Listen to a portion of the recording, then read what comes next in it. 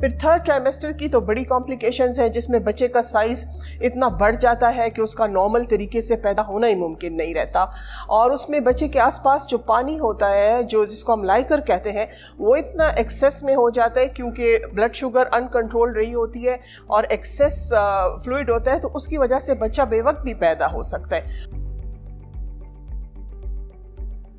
दौरान हमल हर आ, हर तीन माह के दौरान हम उसे ट्राइमेस्टर कहते हैं इंग्लिश में आ, बच्चे के ऊपर असर आ सकता है अगर अनकंट्रोल्ड है जैसे आपने कहा आ, शुगर डायबिटीज़ अगर शुरू में पहले तीन माह के दौरान पेशेंट प्रेग्नेंट हो जाए और उसकी ब्लड शुगर कंट्रोल ना हो तो बहुत ज़्यादा ख़तरा है कि एबॉर्शन हो जाए। अगर एबॉर्शन ना हो तो उससे ज़्यादा ख़तरा है कि कोई ऐसी कंजेनिटल एनॉमली हो जाएगी, कोई ऐसी पैदाइशी बच्चा ठीक नहीं पैदा होगा। कभी उसके दिल के अंदर कोई ऐसी खामी आ जाती है कि वो बाद में ज़िंदा नहीं रह सकता।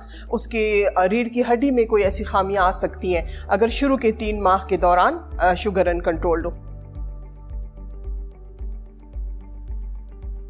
उसके बाद भी जाके मिड ट्राइमेस्टर हम कहते हैं जो चौथा, पांचवा और छठा महीना होता है, उसके अंदर भी एबॉर्शंस हो सकते हैं, उसमें बहुत सारी चीज़ें ऐसी हो सकती हैं, जैसे ब्लड प्रेशर का भी शुरू हो जाना, जैसे मरीज़ अगर अनकंट्रोल्ड है, उसके गुर्दों पर असर हो जाना, ये सारी चीज़ें हैं जो हमल के ख़िलाफ़ काम करती हैं। फिर थर्ड ट्राइमेस्टर की तो बड़ी कॉम्प्लिकेशंस हैं, जिसमें बच्चे का साइज़ इतना बढ़ जाता है कि उसका नॉर्मल तरीके से पैदा होना ही मुमकिन नहीं रहता।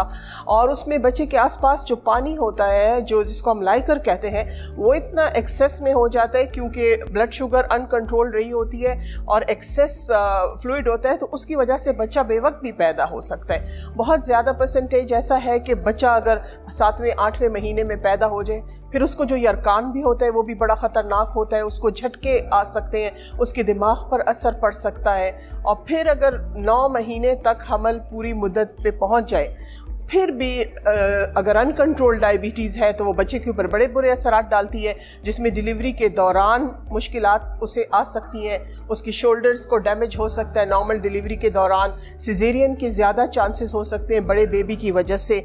और डिलीवरी के बाद बच्चे को जॉन्डस हाइपोग्लाइसीमिया क्योंकि उसे माँ के जिसम के अंदर एक हाई ब्लड शुगर की आदत होती है। जब वो पैदा होते हैं तो वो शुगर उसको इतनी नहीं मिलती जितनी मिलनी चाहिए। इसकी वजह से उसको झटके आ जाते हैं कन्वल्शन आ जाती है और उसकी वजह से इस हद तक बात जा सकती है कि उसका दिमाग भी डैमेज हो जाए।